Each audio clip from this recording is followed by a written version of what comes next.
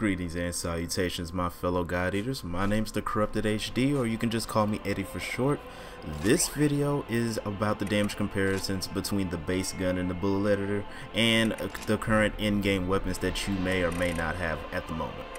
Uh, by request, I was asked to show the damage comparisons between the base weapon that you use in the bullet editor and current weapons that you may have right now. First off, I will say results may vary depending on the weapon that you get, the stats that come on it, and whether you have it reinforced or not. I'm going to go over all the weapons in this video this time, starting off with the assault gun. I am using the charge bullet, and at the base it does 72 damage, and I believe earlier, yeah, looking back on it, it did around 450 damage. I do want to say again that results may vary depending on your weapon and its abilities. And actually for the assault weapon, we actually have a new bullet recipe to go over.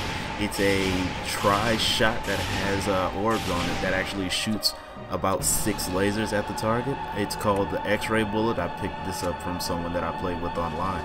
And this bullet in particular uses the dispersal replica bullet. It actually shoots three bullets out of its own, and it actually has three different uh, orbs that you can use to aim lasers at the target. It's actually pretty cool. It's pretty unique once you use it in game too. Uh, the damage numbers is 1720 when all of them hit at its ideal targets.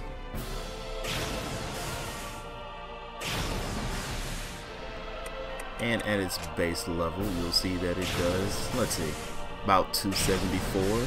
Granted, all the uh, granted all the lasers hit their targets properly. I did try to do the math in my head, but then I also came to the conclusion at the end that uh, there's the stats and uh, whether it's reinforced or not, or just the natural affinity of the weapon, it does change the numbers around.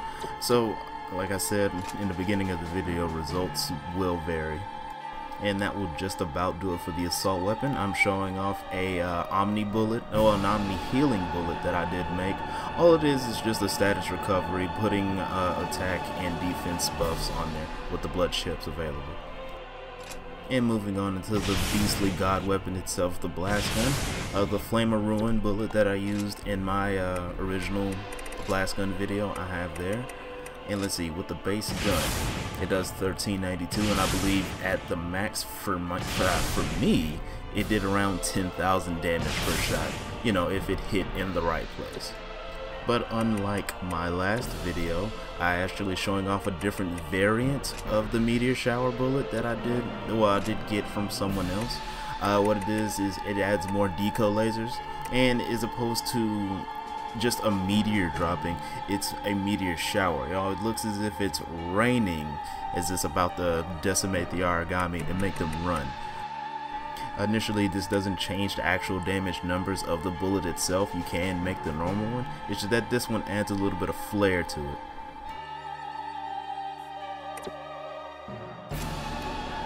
And at the base, it does about 2040 damage, give or take some.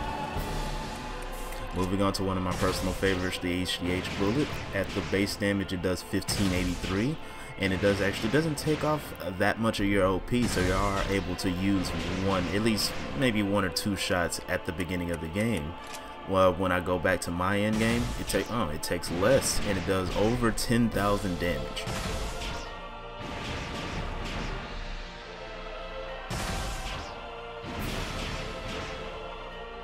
Moving over to the sniper section, we got the Mole Pentabomb bullet.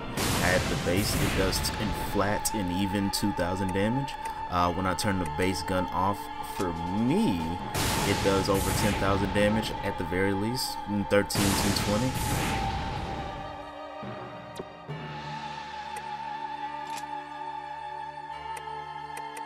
Next is the legendary IOD bullet, and at the very base it does 496 uh, whenever I turn my base gun off and I uh, don't have a crit on, it does 3279, but it, do, it will do even more with the sniper critical on.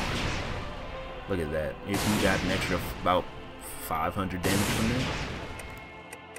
I did try changing the, the, the dummy's body type to see if it added more damage to it.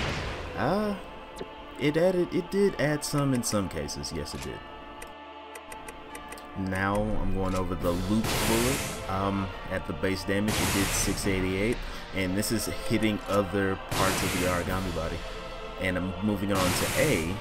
It actually did more damage somehow. I guess having the body there makes the dude less damage.